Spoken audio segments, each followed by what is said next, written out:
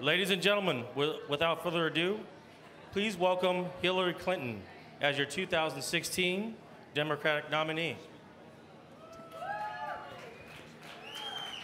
She has captured 49% of the votes according to the latest polls. We'd also like to welcome Donald Trump as your 2016 Republican nominee. Thank you. Thank you. The Don is currently sitting at 26.8% in the polls as of today. All right, let's get ready to rumble here. The 2016 presidential debate has been brought to you by Power Design, known as the 9,000 pound gorilla of the electrical world.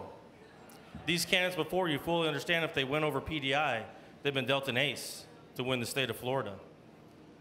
If you've been paying attention to politics over the past 10 years, then you truly know what this means. Game changer. So let's get started. Hillary, your opening comments. Thank you. Power Design, it is your time. Florida is a swing state, and your votes can swing the election our way. Donald Trump, your opening comments. Thank you. I love Florida. It's the greatest swinger state in the country. My wife and I went to the swinging in the 11 Club in Miami. Great time. Clinton, you're being accused of using personal your, your personal computer to conduct sensitive PDI business. My personal emails are my personal emails.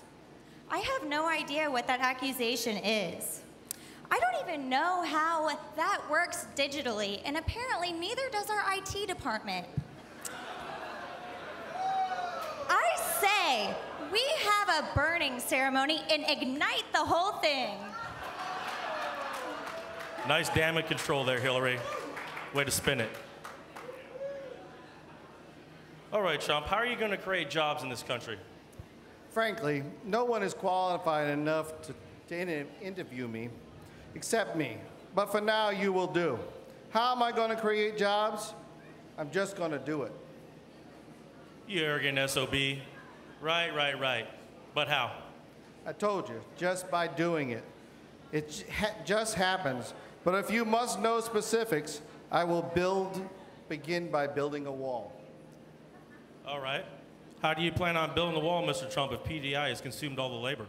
I have a meeting with Jaime and Raymond after, the debate, after today's debate to secure some workforce. I'm sure we can work something out. Mitch and I have share a lot of the same qualities. So seeing how successful Mitch is at it, it is going to be a piece of cake for me.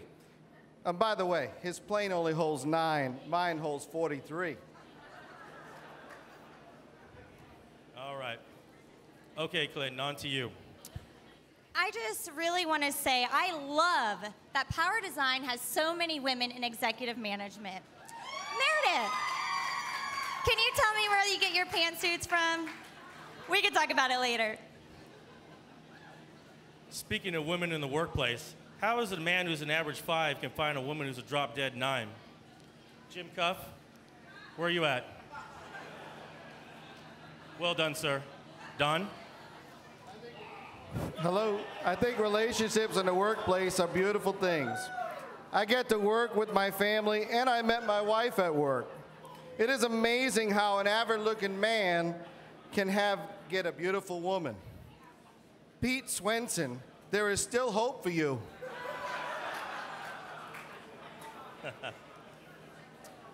All right, Trump.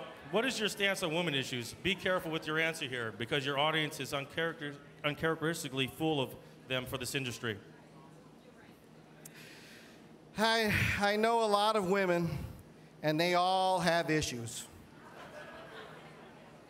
Thank you for just securing all of the women votes for me here at Power Design. I'm just stating the facts. And once again, thank you. All right, moving on. Clinton, can you speak on higher education? What a great country. Of course, I support the Democratic plan for higher education when even Derek Stewart can get an MBA.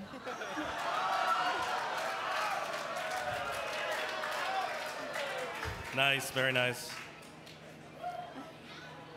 Trump, do you have any closing statements for your supporters? Yes, I had the fortunate opportunity of touring this Taj Mahal facility and saw the values that this company embraces. accountability, growth, innovation, integrity, and teamwork. How the hell did Mike Place get hired? Must have grandfathered in. McAuliffe. Clinton, do you have any closing statements for your, for your voters? Yes, I do. Dave Hughes has so many people in his department. I know if I can secure those votes, Florida will swing the election.